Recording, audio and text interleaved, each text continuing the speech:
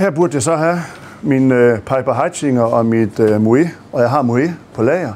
Jeg har bare ikke fyldt det i butikken, øh, fordi jeg ved, det bliver stjålet. Den dyre champagne er pakket væk, tomt på hylderne med kosttilskud og vitaminer. Jeg har folk, der kommer og spørger efter, har I slet ikke flere af dem? Og vil så sige, jamen spørg lige op ved kassen, for jeg er ret sikker på, at vi har dem deroppe også. Ikke? Barbergrej og parfume gemt bag lås og slå.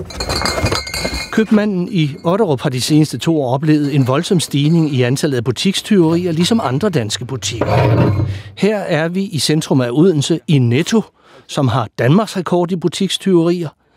Butikstyven i Adidas tøj føres her væk af politiet. Vi har, vi har virkelig oplevet meget, hvor, hvor det er organiseret, hvor man kommer ind og henter, henter mange flasker spiritus af en gang i tøj, der er indrettet til det.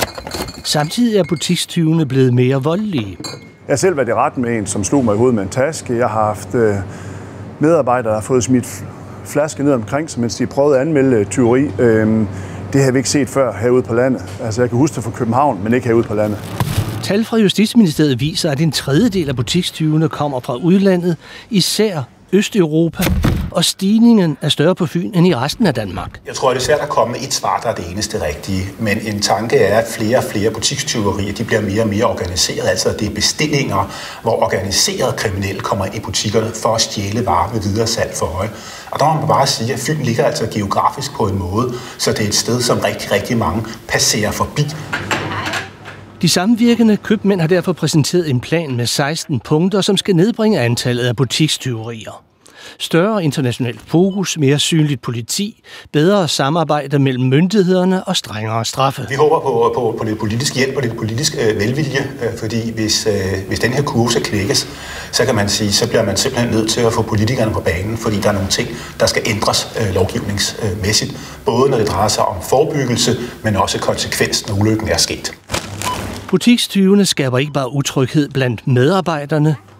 Det koster, ikke kun for alt det, der bliver stjålet, men også på omsætningen. Og vi, vi er et supermarked, der skal have et bredt sortiment, og så kan folk egentlig gå forgæves efter nogle ting, fordi vi simpelthen ikke kan sætte det på hylderne, eller ikke køber det hjem af frygt for, at det bliver stjålet. Ja, det gør jo også, at nogle gange så, så er det jo nogle ting, man springer over, så køber man det ikke alligevel, fordi at man skal bruge tid, og man skal vente på en medarbejder eller et eller andet. Ikke? Men er det fair over for ordentlige kunder som dig, at, øh, du skal, at, at tingene er låst inde?